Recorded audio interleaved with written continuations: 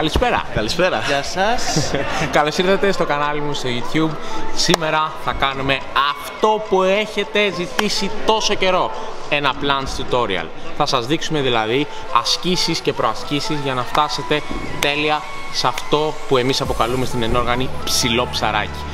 Ο Νίκος ο Κρανίτης και ο Γιώργος ο Χατζηφταθίου Παύλα χαρακτήριστος θα μας δείξουν τις προασκήσεις και στο τέλος θα ανέβουμε μαζί στους κρίκους και θα κάνουμε και οι τρεις αυτό το plunge. Και straddle plunge και κανονικό plunge. Πάμε να δούμε. Έχοντας κάνει φυσικά τη βασική ενδυνάμωση, θα περάσουμε στην πρώτη προάσκηση για το straddle plunge ή αλλιώς το ψαράκι με ανοιχτά πόδια. Πρώτο tip είναι βάζουμε τα χέρια στη θέση στήριξης. Δεύτερο tip είναι να ρίξουμε τους ώμους μπροστά από τη θέση στήριξης. Ένα μυστικό που δεν ξέρουν πολλοί είναι ότι πρέπει να έχουμε σφιχτή τη ράχη καθ' όλη τη διάρκεια της άσκησης και σφιχτή την κοιλιά. Έχοντας σφιχτή την κοιλιά, σφιχτή τη ράχη και το κέντρο βάρους μας το φέρνουμε όσο πιο κοντά μπορούμε στη θέση στήριξης που είναι η καρπή του αθλητή, τόσο πιο εύκολο είναι να κρατήσουμε αρκετά δευτερόλεπτα αυτή την άσκηση. Πάμε να το δούμε.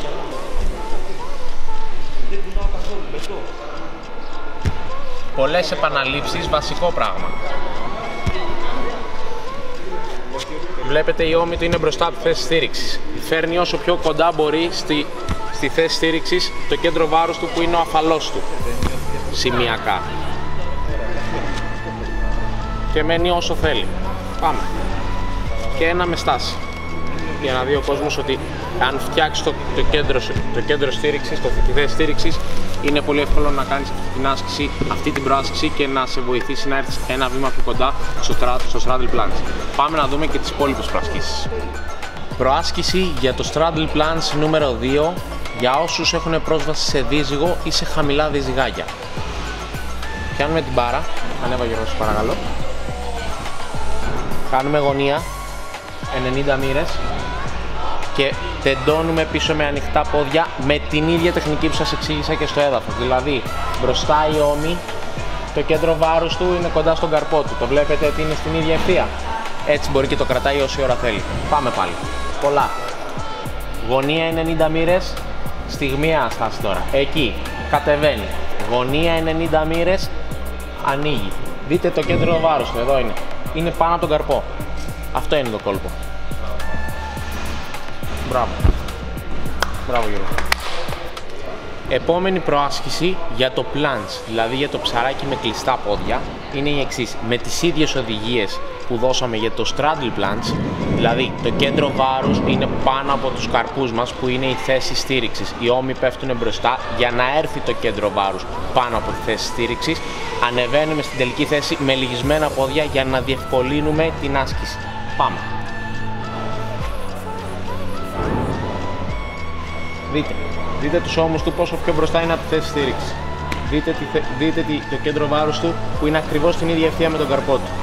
Πάμε. Κατέβα κάτω. Ξανά. Πολλές επαναλήψεις. Βασικό. Κάτω. Έστω και με στιγμιαία στάση μας βοηθάει στην ενδυνάμωση. Και τώρα φτάσεις στη θέση, μείνε μπροστά και τέντωσε. Έτσι. Μπράβο. Φτάνει.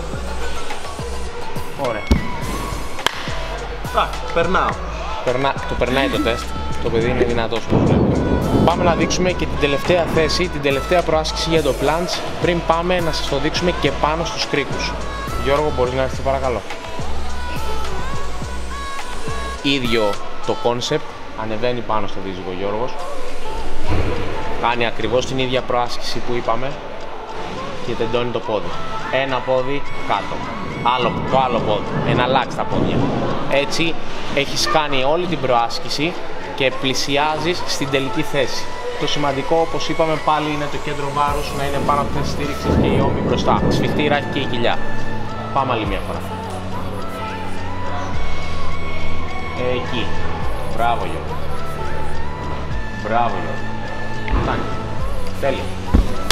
Μπράβο Γιώργο. Πάμε να το δούμε και πάνω στους κρικούς. Πάμε. Πάμε να σας δείξουμε την άσκηση τώρα πραγματικά πάνω στους κρίκους. Η οποία άσκηση είναι πολύ πιο δύσκολη πάνω στους κρίκους γιατί κινούνται οι κρίκοι. Καμία σχέση με το σταθερό σημείο που είναι το δίσμα. Πάμε. φίλοι εδώ, αυτό είναι το τέλειο ψαράκι. Τεντωμένη αγκώνη στη μέση του, πιο μπροστά στο κέντρο βάρους του, σφιχτή κοιλιά, σφιχτή ράχη και ούτε καν που τρέμει. Είναι απίστευτο αυτό το πράγμα. Μπράβο, Λευτέρη. Τέλειο. Αυτό είναι το σωστό ψαράκι, παιδιά. Ωραίος. Καλό. Κάτι κάνω. Καλός. Κάτι κάνω. Έχω να κάνω από τη Λοζο- από τη Λοζάνη το 2008. Ως έφηβος. Πια. Ε, είπαμε το τέλειο ψαράκι χωρίς να τρέμει. Δείτε λίγο. Παιδιά, θα σας δείξει και αυτός. Καίγεται για να το δείξει. Δεν μπορεί. Δεν κρατιέται το παιδί. Είναι καλός όμως. Το κρατάει. Πάμε. Ίδια η τεχνική όπως βλέπετε. Τεντωμένοι αγκώνες. Γελάει. Αποκλείεται, εντάξει. εντάξει. Πήγα σάλια. Σε, σε παρακαλώ, σε παρακαλώ. σε παρακαλώ. Ε, παιδιά, θα δείξει ο Νίκος γιατί ο Γιώργος έχει κουραστεί γίνεται. λίγο σήμερα. Έχουμε κάνει πολλή προπόνηση όπως καταλαβαίνετε και υπάρχει μία κούραση. Θα δείξει ο Νίκος γιατί είναι πιθανώς λίγο πιο δυνατός. Και έχουμε και περισσότερη ενέργεια εμείς οι μικροί. Πάμε, είναι νιάτο. Πάμε νιάτο. Ίδιο σκηνικό, όμοι μπροστά, το κέντρο βάρους του είναι εδώ πάνω από το η θέση στήριξης. Τώρα θα Μπορεί τα να πεις μείνει- όλα. ναι, συγγνώμη που σε κράτησα τόσο. Μπορεί να μείνει όση ώρα θέλει, παιδιά. Γιατί το, το, το, το δυσκολότερο πράγμα που, είναι, που έχεις να κάνεις σε ένα plunge είναι να βρεις το κέντρο βάρους. Δεν είναι θέμα δύναμης, γιατί πολλές φορές με ρωτάει ο κόσμος πώς το κάνεις αυτό, πόσο δυνατός μπορεί να είσαι ή δεν ξέρω κι εγώ πολλά πράγματα και εξηγώ ότι είναι θέμα τεχνικής και θέμα εξάσκησης. Πρέπει να βρεις το κέντρο βάρους σου και να πιέσεις στα σωστά σημεία. Πάμε να δούμε και ένα κανονικό plunge, με κλειστά πόδια δηλαδή το ψηλό ψαράκι. Αναλαμβάνει ο Λευτέρης τώρα. Τα πόδια κλείνουν και η άσκηση δυσκολεύει περισσότερο. Γιατί αυτό όμως, γιατί πρέπει το βάρος να έρθει πιο μπροστά. Όταν ανοίγουμε τα πόδια, το βάρος απλώνεται. Οπότε τα χέρια έχουν λιγότερη επιβάρυνση. Πάμε να δούμε το Λευτέρη να εκτελεί ένα ψηλό ψαράκι με κλειστά πόδια όπως λέμε.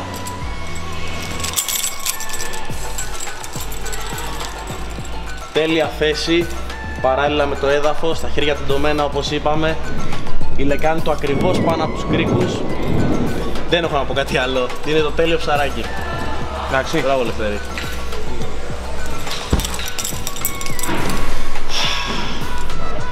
Κάτι κάνουμε. Εγώ μπορώ να κάνω ψαράκι.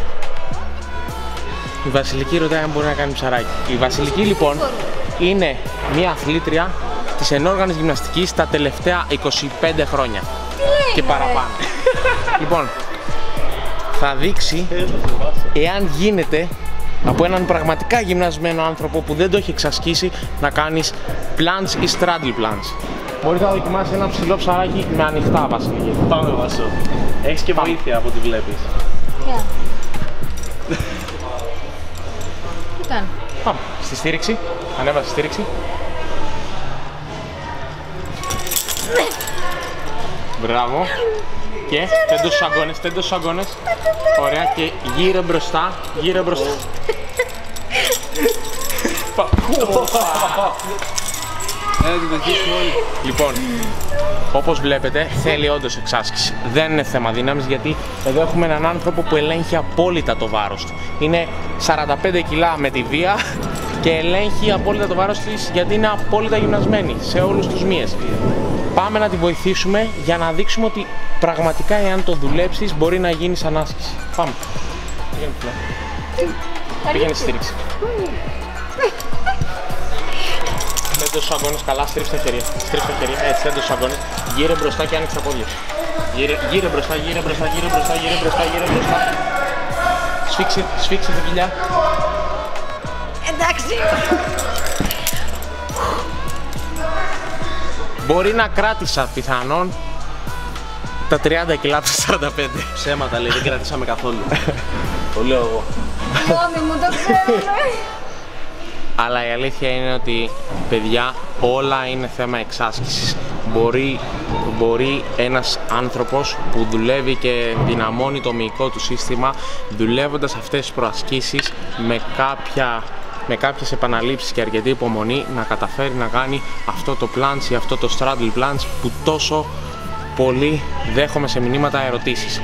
Θέλω από εσάς να μου κάνετε όποιες απορίες έχετε σε σχόλια για να τις συζητήσουμε και ό,τι άλλο θέλετε να δείτε μελλοντικά για να το ετοιμάσουμε σε ένα βίντεο, να ετοιμάσουμε ένα tutorial για, κάποιο, για κάποια άσκηση και να σας τη δείξουμε και αυτήν.